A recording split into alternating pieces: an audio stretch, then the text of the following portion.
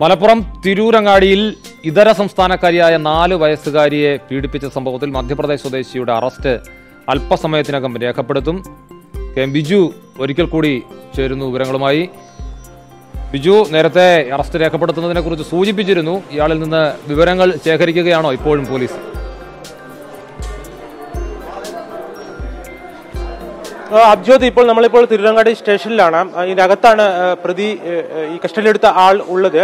ദിബാഷിയുടെ സഹായത്തോടെ ഇയാളിൽ നിന്നും കൂടുതൽ വിവരങ്ങൾ തേടുകയാണ് പോലീസ്. അതിനുശേഷം പ്രതിയെ കാണിക്കുമ്പോൾ പ്രതികരണം ഉണ്ടാകുമെന്നാണ് കരുതുന്നത്. എന്തായാലും ഇന്നലെ വൈകിട്ടാണ് ഈ കേസിന് ആസ്പദമായ സംഭവം നടക്കുന്നത്. ഈ ഇരയായ കുട്ടിയുടെ മാതാപിതാക്കളുമായി അടുത്ത സൗഹൃദത്തിൽ ആളാണ് ഈ കസ്റ്റഡിയിൽ എടുത്ത ആൾ. ഇയാളും മധ്യപ്രദേശ് സ്വദേശിയാണ്.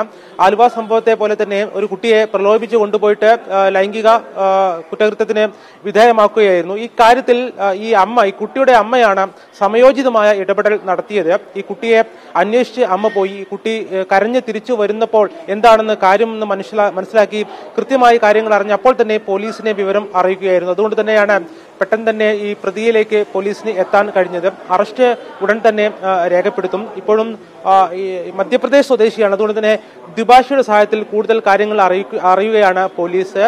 ഒപ്പം തന്നെ കുട്ടിയുടെ മൊഴിയൊക്കെ ഇന്നലെ പോലീസ് രേഖപ്പെടുത്തിയിരുന്നു. കുട്ടിയുടെ ഫോട്ടോ ഇയാളുടെ ഫോട്ടോ കുട്ടിക്ക് അയച്ചു കൊടുത്ത് തിരിച്ചറിയൽ നടപടി ഉൾപ്പെടെയുള്ള കാര്യങ്ങളൊക്കെ ചെയ്തിട്ടുണ്ട്. ഇനിയിപ്പോൾ ഇയാൾക്ക് വേറെ മറ്റു വലിയ ക്രിമിനൽ പശ്ചാത്തലമുണ്ടോ? സമാനമായ കുറ്റകൃത്യം ചെയ്തോ എന്ന കാര്യത്തിലേക്ക് ഒരു വ്യക്തത വരേണ്ടതുണ്ട്. എന്തായാലും ഈ കേസിൽ ഉടൻ തന്നെ അറസ്റ്റ് രേഖപ്പെടുത്തും. ഇപ്പോൾ ഈ കസ്റ്റഡിയിലെടുത്ത ആളെ വിശദമായി ഇപ്പോൾ ചോദ്യം ചെയ്തു വരികയാണ് അബ്ജ്യോത് ശരി ബിജു കൊച്ചുകുട്ടികളോടുള്ള ക്രൂരതയാണ് അത്. ലൈംഗിക ബന്ധമോ ലൈംഗിക അതിക്രമമോ അല്ല അത് ബലാത്സംഗം തന്നെയായി വിലയിരുത്തപ്പെടേണ്ടതാണ് കൈകാര്യം ചെയ്യപ്പെടേണ്ടത്